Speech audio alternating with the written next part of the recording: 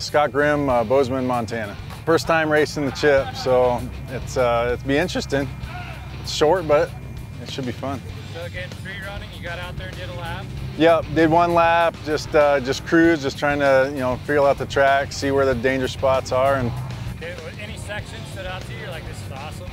Uh, this front stretch here, coming by the pits, is really nice. Can open it up a bit. Um, there's a couple couple nice hits over that tabletop across the start finish line. Should be fun. Every lap, just open it up and try and you know try and clear it. but yeah, So again, you were at the Big Sky 200, but unfortunately, yeah, did not finish. Got uh, two and a half of four laps down, about 120 miles, and ripped a rear caliper off the rear axle. Uh, just sheared the whole uh, caliper mount right off, and that pretty much ended our day.